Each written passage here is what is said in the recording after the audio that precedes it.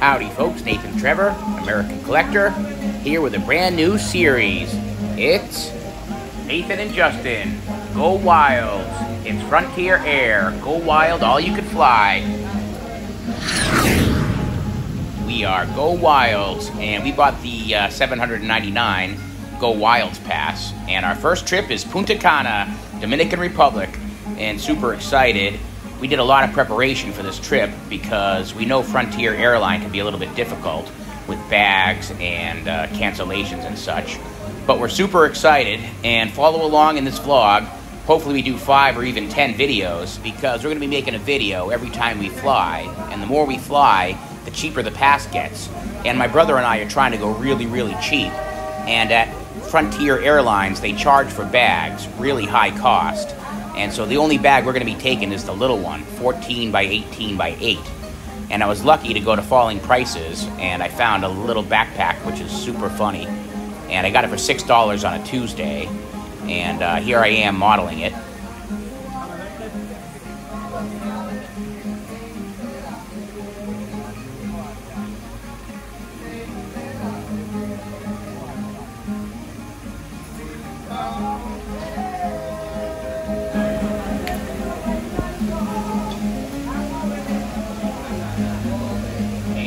Go. We're going to document all of our travels in this travel vlog notebook. And it'll be a blog here and a vlog on the uh, interweb. 799 plus 176 was our total price. And as you can see here, the international fees and taxes can be steep, 99 and 77. But that does come down a lot for domestic travel. And I think it's usually $30 and sometimes even 15 So if I do some domestic stuff, then the price will come way down. And there are some uh, disclaimers, like you can only actually fly 300 out of 365 days. There's quite a few blackout days, so that's uh, something to consider. But all in all, we're hoping to get some good value by flying a lot.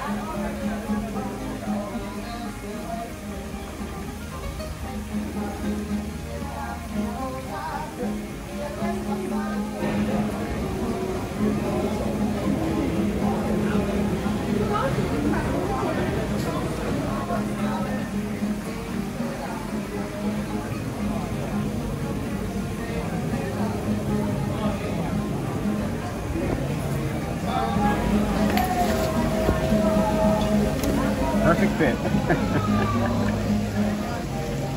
and my brother and I both had perfect fits for our bags, but there were many people at the airport that we watched who uh, could not fit, and the charge at the airport is $99, and that's super high. This guy took it pretty well.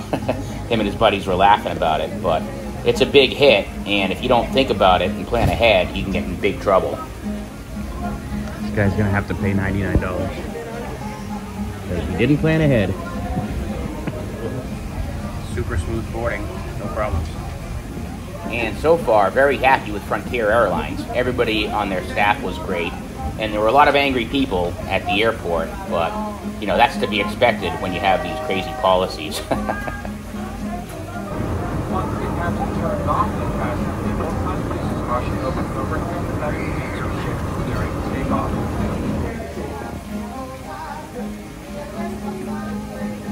Orlando.